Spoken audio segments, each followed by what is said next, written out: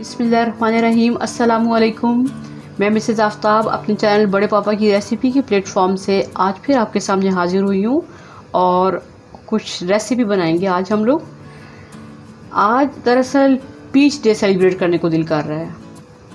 तो इसमें सबसे पहले मैं आड़ू का मुरबा बनाऊँगी। तो उसके लिए आप इंग्रेडिएंट्स देख लीजिए। आड़ू इसमें से पाँच से छः अदद मैं लूँगी। एक कप चीनी है और उसके ऊपर दो सब्ज़ इलायची के दाने हैं। ये बादाम और सफ़ेद तिल गार्निशिंग के लिए। तो चलिए अपनी रेसिपी का आगाज़ करते हैं बिस्मिल्लाहिर्रहमानिर्रहीम पढ़कर। जी, बिस्मिल्लाहिर्रहमानिर्रहीम के साथ आड़ू को पील ऑफ़ करना शुरू करते हैं। बारीक बारीक छिलका आराम से उतार लें और साथ हम आड़ू के बारे में कुछ बात कर लेते हैं।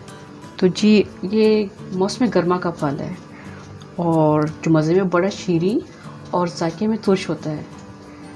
और जी, इसमें कैल्शियम, फास्फोरस, विटामिन, ये सब चीज़ें पाई जाती हैं।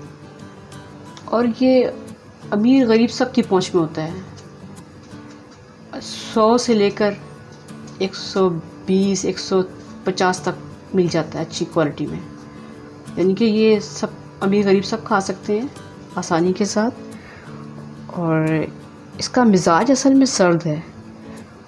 और ये गजाइत में ना सिर्फ़ भरपूर होता है, बल्कि गर्मी की तपिश को भी कम करता है।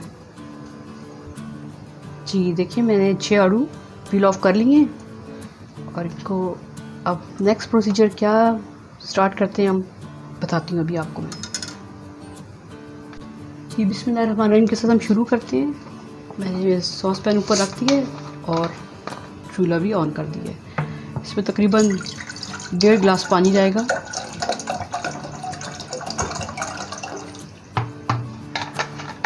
पानी के साथ इसमें जो चीनी मैंने आपको बताई थी, एक कप चीनी और दो सब्ज़ इलायची के दाने, वो चले जाएँगे। और शीरा बनने तक का हम इंतज़ार करते हैं। जी, देखते हैं चीनी इसमें मेल्ट हो गई है। अब एक चुटकी फ़ूड कलर जर्दा कलर डाल देते हैं। और साथ ही इसमें आड़ू बसमीम गरम गरम शीरा है, ध्यान से डालिएगा।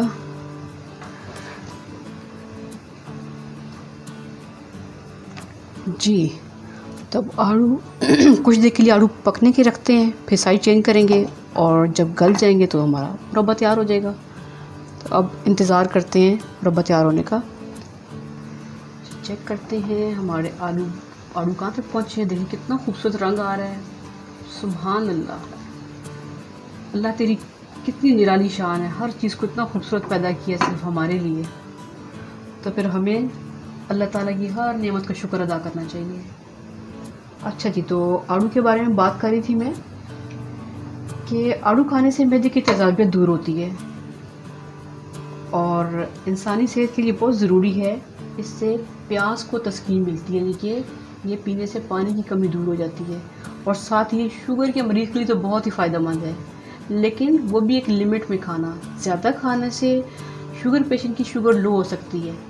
इसलिए जब भी खाएँ शुगर पेशेंट तो दो, पूरे दिन में दो खा लें, इससे ज़्यादा नहीं। चाय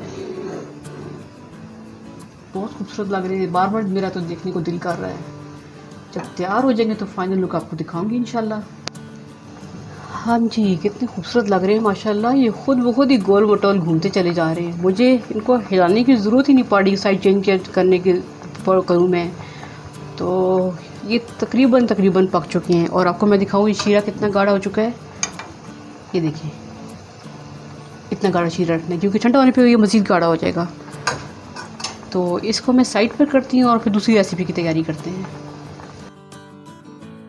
अपने चैनल द लर्निंग पॉइंट पर मैंने बच्चों के लिए बहुत इंटरेस्टिंग वीडियोस बनाई हैं जो बच्चों की बेसिक लर्निंग में बहुत फ़ायदेमंद साबित होंगी। आप ज़रूर विज़िट कीजिए उस चैनल का आपको अच्छा लगेगा। इस पर मैं बड़े बच्चों के लिए भी काम करूँगी। तो आपने इस चैनल को सब्सक्राइब ज़रूर करना है। जी तो दूसरी रेसिपी का आगाज़ करते हैं। दूसरी रेसिपी है आड़ू का जूस तो उसके लिए मैंने तीन आड़ू छिलके उतार के काट कर रख लिए ये बर्फ़ है इस पर ज़रूरत। ये तीन टेबल स्पून चीनी है और दो तो चुटकी काला नमक है। तो चले हम आगाज़ करते हैं अपनी रेसिपी का। बसमीम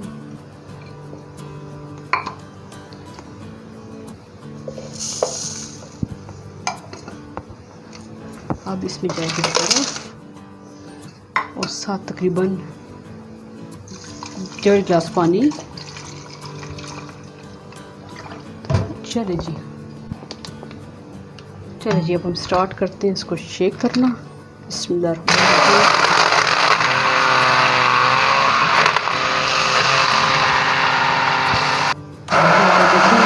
ज़बरदस्त तरीके से तैयार हो रहा है।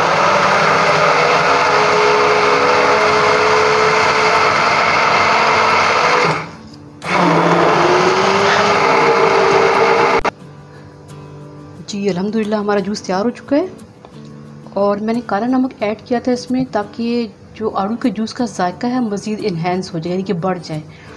तो बहुत यमी सा टेस्ट आ रहा है। बिस्मिल्लाहिर्रहमानिर्रहीम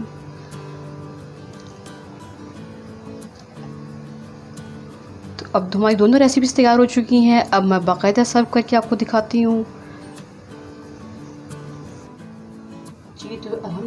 हमारी दोनों रेसिपीज़ तैयार हो चुकी हैं। एक है आड़ू का जूस और दूसरी है आड़ू का मुरब्बा। तो आप देखें बहुत खूबसूरत लुक में नज़र आ रही है आपने सिर्फ़ एक काम करना है। इसको ट्राई करना है और मुझे अपने कमेंट कमेंट बॉक्स में ज़रूर बताइएगा कैसी लगी आपको और आप मेरा चैनल सब्सक्राइब करना नहीं भूलिएगा, ठीक है? ये आप लोगों की तरफ़ से हमारे लिए अप्रिसिएशन होती है, हमारी हौसला अफजाई होती है। हमें करेज मिलती है मज़ीद अच्छा काम करने के लिए। तो नेक्स्ट रेसिपी तक के लिए अल्लाह हाफिज़।